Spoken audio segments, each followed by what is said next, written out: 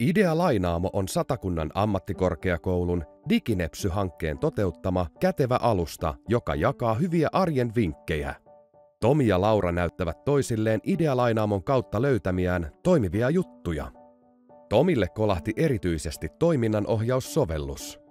Tämä on vähän niin kuin oma kätevä henkilökohtainen jokapäiväinen avustaja. Tämä toimii ja digitaalisuus voi jeesata suakin. Laura antaa Tomille käteviä rentoutusvinkkejä, jotka oppi idealainaamosta. Pienikin rentoutushetki auttaa jaksamaan. Laura oli muokannut muutamasta rentoutusidiksestä itselleen parhaiten toimivan mallin ja jakoi oppinsa idealainaamoon. Muutamalta tyypiltä tuli heti kiitosta. Tosi okei, kun voi itsekin jakaa tietoa. Idealainaamon videot, podcastit ja tekstisisällöt toimii oikeasti. Tuu katsomaan, lainaamaan ja jakamaan omat suosikkivinkkisi.